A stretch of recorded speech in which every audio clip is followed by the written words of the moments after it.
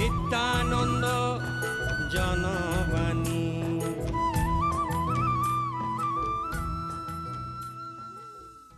আপনারা শুনছেন Nityananda Janabani ninety one point two F M community radio.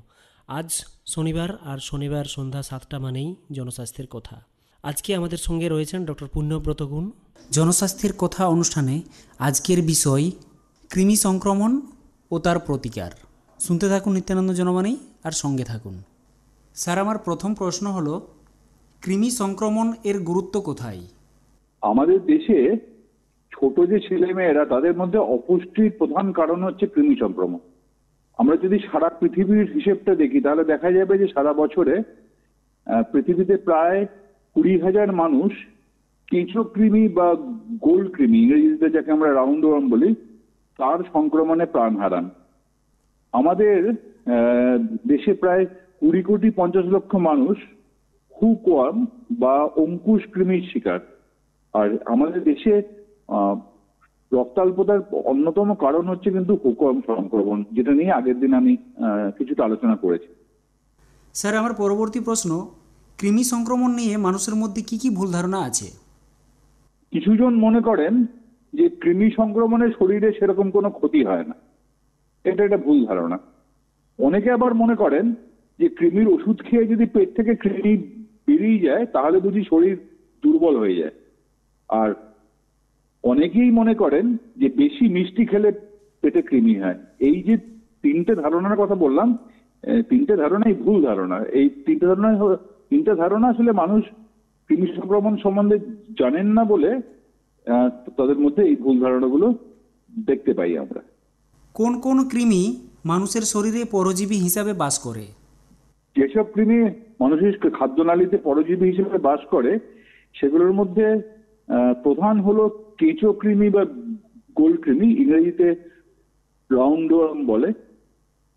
বক্র বা অঙ্কুশ কৃমি, এর ইংরেজি নাম হুক ওয়ার্ম সুতো কৃমি, এর ইংরেজি নাম থ্রেড ওয়ার্ম চাবুক কৃমি এর ইংরেজি নাম হলো হুইপ ওয়ার্ম আর ফিতে কৃমি, ফিতে কৃমিকে বলা হয় টেপ ওয়ার্ম আচ্ছা স্যার গোল কৃমি সম্পর্কে কিছু বলুন। হ্যাঁ আমরা কৃমি সংক্রমণ হলে যে কৃমিকে সহজে আমরা দেখতে পাই সেটা হলো কেঁচোর মতো দেখতে গোল কৃমি। যেটা হয় সেটা হলো যে মলের সঙ্গে এই কৃমির ডিম বেরিয়ে আসে। আর এই ডিমটা বেরিয়ে আসার পরে দশ থেকে চল্লিশ দিনের মধ্যে ডিমের মধ্যে বাচ্চা কৃমি তৈরি হয়। মল যখন কাঁচা শাকসবজি, পানীয় জল বা খাবার যখন এই ডিমে দূষিত হয়, সেই সেটা যদি আমরা খাই, তাহলে সেই ডিমটা খাদ্যনালীতে ঢুকছে। ক্ষুদ্রান্তে ডিম ফুটে বাচ্চা কৃমি বেরিয়ে আসে। ক্ষুদ্রান্ত থেকে রক্তের শিরা দিয়ে লিভার হয়ে হৃৎপিণ্ড হয়ে এই বাচ্চা কৃমিগুলো ফুসফুসে পৌঁছায়। ফুসফুসের হাওয়ার থলি থেকে শ্বাসনালী হয়ে এটা ওপরে উঠে আসে, আর ওপরে উঠে এসে আমরা জানি যে আমাদের খাদ্যনালীর মুখ আর শ্বাসনালীর মুখ দুটো পাশাপাশি থাকে, সেই শ্বাসনালী থেকে বেরিয়ে এসে এটা আবার খাদ্যনালীতে ঢোকে। বড় হওয়ার পর গোলকৃমি মোটামুটি ছ থেকে পনেরো ইঞ্চি অবধি লম্বা হতে পারে। পেটে যদি বেশি কৃমি থাকে, তাহলে পেটে ব্যথা হতে পারে, বদহজম হতে পারে। অনেক সময় কি দেখা যায়, যে কৃমি গোলা বেঁধে খাদ্যনালীর ভেতরে বন্ধ করে দেয়। তখন সেখান দিয়ে আর খাবার যেতে পারে না নিচে। এই অবস্থাতে অনেক সময় অপারেশনের দরকার হতে পারে। আর কেঁচোকৃমির বাচ্চা যখন ফুসফুসে থাকে সে সময় কাশি হতে পারে শ্বাসকষ্ট হতে পারে। বড় কেঁচোকৃমি অনেক সময় বমির সঙ্গে বেরিয়ে এসে শ্বাসনালীতে ঢুকে পড়ে। তাতে কিন্তু মৃত্যুও হতে পারে। এর পরবর্তী প্রশ্ন হুকওয়ার্ম বা অঙ্কুশ কৃমি আমাদের কি ক্ষতি করে? এই যে অঙ্কুশ কৃমি এই অঙ্কুশ আমরা ওই হাতি দেখেছি হাতির মাহুতের মাহুতের হাতে যেটা থাকে, যেটা দিয়ে সে হাতিকে নিয়ন্ত্রণ করে, সেটাকে অঙ্কুশ বলা হয়। অঙ্কুশের মতো দেখতে এই কৃমিটা এটা লম্বায় মোটামুটি আধ ইঞ্চি লম্বা, লাল রং। পায়খানার সঙ্গে এই কৃমির ডিম মাটিতে মেশে। ভিজে মাটিতে থাকার পর সাত থেকে দশ দিনের মধ্যে ডিম ফেটে, ডিম থেকে বাচ্চা কৃমি ফোটে। মাটি বা ঘাসে লেগে থাকা বাচ্চা কৃমি, আমরা যদি খালি পায়ে হাঁটাচলা করি, তাহলে পায়ের চামড়া ফুটো করে শরীরে ঢুকে। রক্তের সঙ্গে এটা এসে পৌঁছায় ফুসফুসে, কাশির সঙ্গে ফুসফুস থেকে গলায় উঠে আসে, সেখান থেকে আবার খাদ্যনালীতে ঢোকে। এই কৃমি যেটা ক্ষতি করে সেটা হলো ক্ষুদ্রান্তের দেয়ালে কামড়ে ধরে এরা রক্ত চুষতে থাকে। তার ফলে রক্তাল্পতা হতে পারে। আমাদের দেশে রক্তাল্পতার প্রধান কারণ কিন্তু এই বক্রকৃমি বা হুকোয়াম সংক্রমণ। বক্রকৃমি যখন চামড়া ফুটো করে ভেতরে ঢোকে আমি হ্যাঁ তখন চুলকানি হতে পারে। আর পেটে পৌঁছানোর পরে পেটে ব্যথা পাতলা পায়খানা এগুলো হতে পারে। তবে অবশ্যই এই কৃমি থেকে হওয়া সবচেয়ে বড় সমস্যার কথা যদি বলি সেটা হলো রক্তাল্পতা আচ্ছা স্যার পরের প্রশ্ন সুতাকৃমি কি অঙ্কুশ কৃমির মতোই ক্ষতিকর? না সুতোকৃমি অঙ্কুশ কৃমির মতো ক্ষতিকর নয়। এই কৃমিটা সরু সুতোর মতো। লম্বায় প্রায় আধ ইঞ্চি সাদা রং এটা থাকে হচ্ছে বৃহদন্ত্রে। রাতে স্ত্রী কৃমি ডিম পাড়ার জন্য মলদ্বার দিয়ে বাইরে বেরিয়ে আসে। মলদ্বারে তখন চুলকানি হয়। চুলকানি আহ, চুলকালে পরে কি হয়? নখের ফাঁকে ডিমগুলো আটকে। ভালো করে হাত না ধুয়ে খেলে ডিমগুলো আবার পেটে ঢোকে। এই কৃমি ততটা ক্ষতিকর না তবে মরদ্দারি চুলকানির জন্য ঘুমের ব্যাঘাত হতে পারে। আচ্ছা স্যার চাবুক কৃমি সম্পর্কে কিছু বলুন। চাবুক কৃমি লম্বায় এক থেকে দেড় ইঞ্চি লম্বা, র- গোলাপি বা ধূসর, ছাই ছাই রঙের। কৃমির ডিং মলের সঙ্গে বেরিয়ে আসে, আবার খাবার বা পানীয়র মাধ্যমে শরীরে ঢোকে। কুকমের মতোই অন্ত্রের দেয়াল থেকে এরা রক্ত চষে, তবে পরিমাণটা কম। এই কৃমি সংক্রমণে অপুষ্টি হতে পারে আর রক্তাল্পতা হতে পারে। আচ্ছা স্যার গরু বা শুয়োরের মাংস থেকে নাকি ফিতে কৃমি হয়?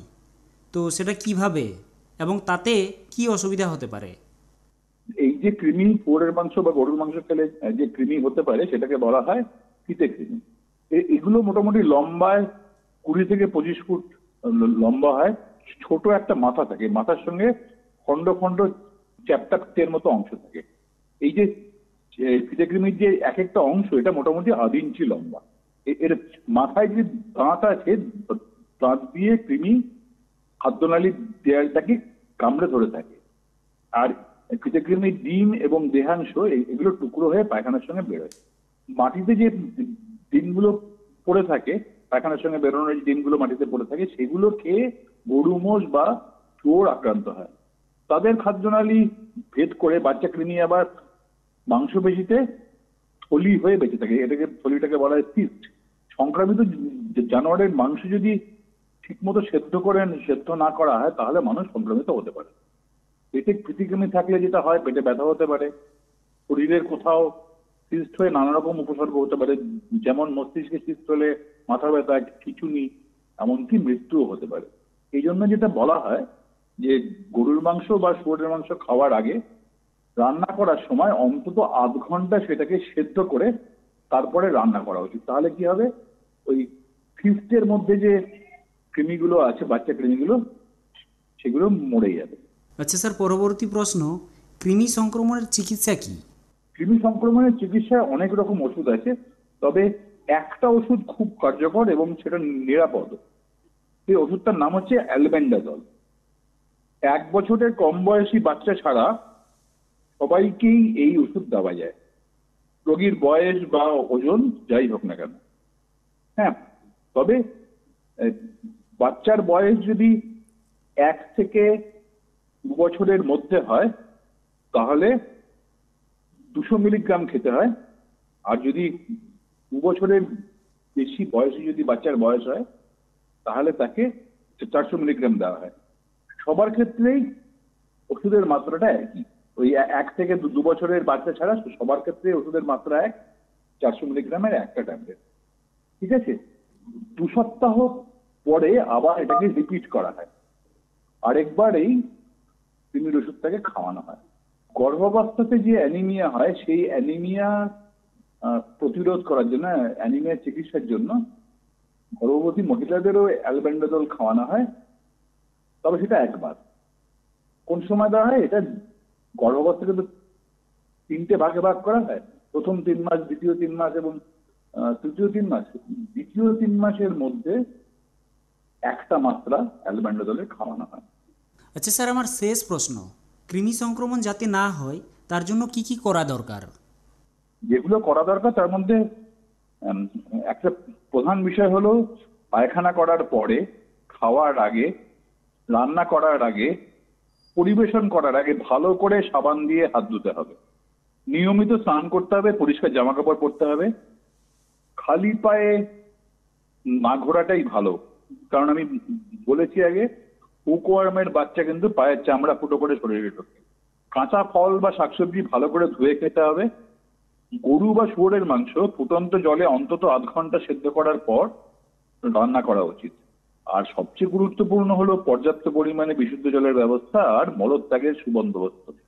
তবে আমাদের দেশের গ্রামাঞ্চলে এবং শহরে যে শহরের বস্তি অঞ্চলে যে মানুষেরা থাকেন সেখানে কিন্তু এই দুয়েরই বড় অভাব। স্যার আপনাকে আপনার মূল্যবান সময়ের জন্য অসংখ্য ধন্যবাদ জানাচ্ছি নিত্যানন্দ জনবাণী পরিবারের পক্ষ থেকে। নমস্কার। নমস্কার। চলো সোনাই চলো সোনি